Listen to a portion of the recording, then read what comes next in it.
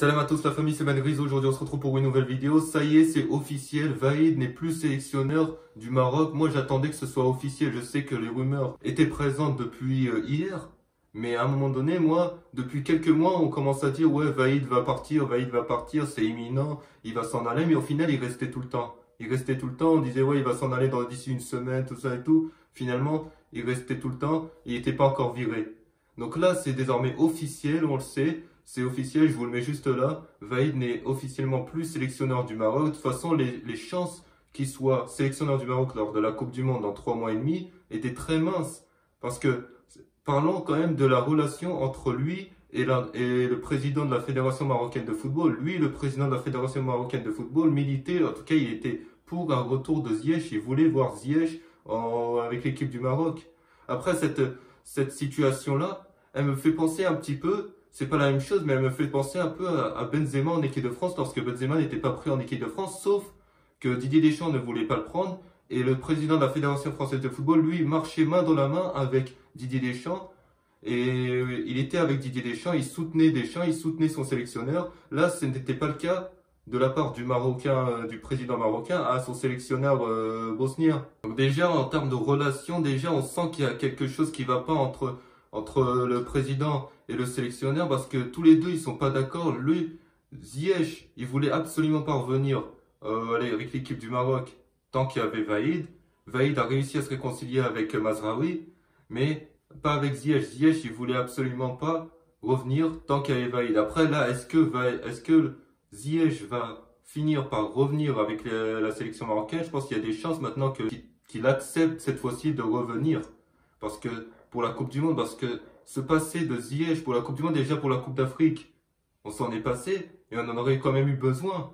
Parce que je pense quand même à un coup franc dans les dernières minutes face à l'Égypte où c'est, euh, il me semble, c'était Louza qui avait tiré le coup franc, il l'avait mis en retrait. Ce coup franc-là, excentré sous le côté droit, c'était un parfait coup franc pour Ziyech. Et du coup, même dans le jeu de, de l'équipe du Maroc, on ne pouvait pas se priver encore une fois de Hakim Ziyech. Et là, me dire, on ne sait pas encore, on sait pas s'il va forcément accepter euh, de revenir avec l'équipe du Maroc, on sait jamais. Ça se trouve, lui, connaissant Ziyech, ça se trouve, à tous les coups, il va encore refuser. Il va dire non, j'ai dit que je voulais plus revenir, et voilà, je ne veux plus revenir, je reviens plus. Moi, j'espère, euh, je pense pas que ça va être le cas. Mais en tout cas, c'est un soulagement de me dire, de se dire quand même que Vaïd, enfin, il est viré, parce qu'il était sous le feu des critiques, tout le monde le critiquait, il y avait des moments, il y avait des matchs où on était très mauvais, où sincèrement, quand, par exemple contre l'Afrique du Sud, on a été mauvais, on a été sauvé par Al-Kabi euh, dans les dernières minutes, et avec euh, El Nesri aussi. On a perdu 3-0 contre les États-Unis au match amical, des mauvais résultats, mais aussi on a eu des bons résultats. Mais là, Vaïd, sous le feu des critiques, ne pouvait pas rester sélectionneur du Maroc. C'était impossible. Et là, ça va être euh, Walid qui va rejoindre qui va sûrement rejoindre euh, le poste de sélectionneur. Et moi, ce qui est intéressant là-dedans, c'est que là, on met un sélectionneur marocain, un sélectionneur marocain qui connaît certainement les joueurs et qui aura sûrement une des meilleures relations avec les joueurs que Vaïd a pu avoir avec ses joueurs. Parce que le, le mec, il est marocain, il peut, il peut mieux, les relations peuvent être meilleures. Après, de toute façon, on était quasiment persuadé que Vaïd allait se faire virer parce que c'est pas la première fois contre le, avec le Japon. En 2018, juste avant la Coupe du Monde, il s'est fait virer. La seule Coupe du Monde qu'il a pu faire, c'était avec l'Algérie, où il s'était pas fait virer. Il a réussi quand même à aller en huitième de finale. Il a failli battre l'Allemagne. Donc ça se trouve, ce que je me dis, c'est que si on aurait gardé Vaïd, Vaïd aurait pu faire les mêmes performances avec le Maroc qu'il a fait avec euh, l'Algérie en 2014. Ça, c'est un peu mon avis, mais c'est moi, je pense pas quand même que ça aurait été le cas. Parce que, avec ce passé, parce que, en Algérie, avec l'Algérie, il s'est pas non plus passé des, meilleurs joueurs. Il me semble pas qu'il s'est passé des meilleurs joueurs. Là, il se passe quand même de, de, Ziyech, un des meilleurs joueurs marocains. Si ce n'est le, meilleur. L'un des meilleurs joueurs marocains qui ne semblait pas disputer la Coupe du Monde si Vaïd euh, était à la Coupe du Monde. Là, maintenant qu'il est plus là, Ziyech va revenir très certainement. C'était le souhait du président marocain. À mon sens, ça ne pouvait, pas continuer entre le Maroc et Vaïd parce que tant que le président marocain, si le président marocain voulait un retour de Ziyech, bah, il était obligé de virer son sélectionneur. Parce que Ziyech ne voulait absolument pas revenir tant qu'il y avait euh, Vaïd. Donc il était obligé de le, de le virer. Donc depuis ces dernières 24 heures, il y a eu beaucoup de sources qui se réunissaient pour euh, dire que Vaïd allait se faire très probablement virer. Moi j'attendais que ce soit officiellement, j'ai vu ça sur OneFootball, c'est officiel, ça, y est, il est viré. Il y avait Beansport qui le disait, il y avait l'équipe, il y avait euh, Romain Molina, tout le monde le disait quasiment qu'il allait se faire virer. Donc moi j'attendais que ce soit officiel parce que sincèrement depuis des mois on disait ouais il va se faire virer, il va se faire virer mais il se, se faisait jamais virer. Là cette fois-ci c'est acté, c'est officiel et c'est un soulagement. On sait quel est l'avenir de la sélection marocaine. En, en, prenant Walid qui sera sûrement bah, très certainement à 95% de chance le futur, futur sélectionneur du Maroc. C'est un soulagement de se dire que ça y est, on connaît l'avenir de, de l'équipe nationale du Maroc. En tout cas, pour finir sur le sélectionneur qui va succéder à, à Vaïd, ce sera sûrement Walid Regragui. Lui, cet entraîneur, je ne le connaissais pas euh, vraiment. Je sais qu'il a été entraîneur de Casa. Lui, d'après ce que je sais de lui, c'est quand même un, entraîneur qui privilégie que les résultats. Les résultats, les victoires. Ça lui a souvent été reproché. Mais il a quand même été, il a quand même euh, voulu plus privilégier la victoire que le contenu. Ça me fait penser aussi à Didier Deschamps en 2018 ou avec l'équipe de France qui, qui, qui privilégie uniquement le résultat au contenu. On a vu l'équipe de France gagner la Coupe du Monde en faisant que de défendre, euh, quasiment que de défendre pendant tout le long du tournoi. Mais le résultat était là. Et pour Didier Deschamps, le résultat est là.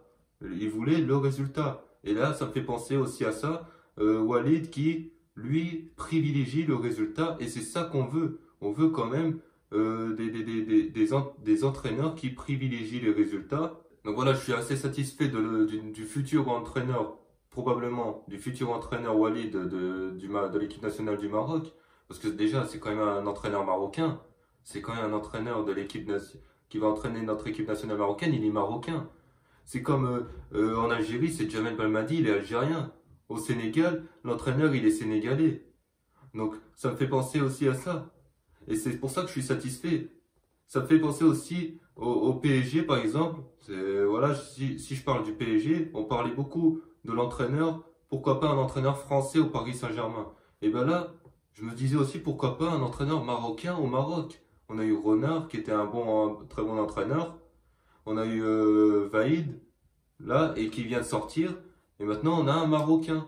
Donc ça, ça me satisfait. Qu'on ait un Marocain qui pourrait très certainement s'entendre avec les joueurs et qui pourrait, qui a quand même un, bon palmarès. Je connais pas vraiment son palmarès, mais il a quand même apparemment, d'après ce que j'ai entendu, un sacré palmarès par rapport à des entraîneurs comme Jamel Belmadi en Algérie ou euh, le sélectionneur euh, sénégalais au Sénégal.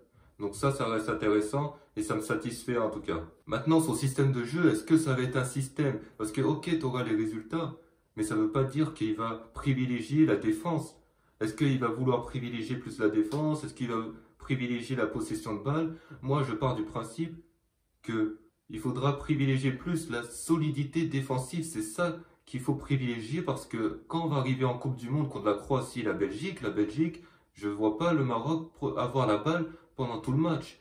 Contre des grosses nations comme ça, que ce soit la Belgique, la Croatie, la Croatie qui adore avoir la possession de balle. Et on a vu avec l'équipe de France au mois de juin, quand la France a affronté la Croatie au Stade de France, c'était très compliqué pour l'équipe de France de récupérer la balle lorsque la Croatie avait la balle.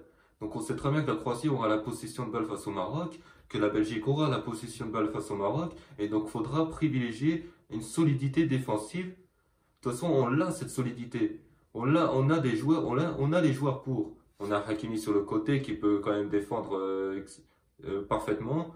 Et surtout en charnière, Roma Saïs et euh, Agerd. Agerd qui a rejoint West Ham il n'y a pas longtemps.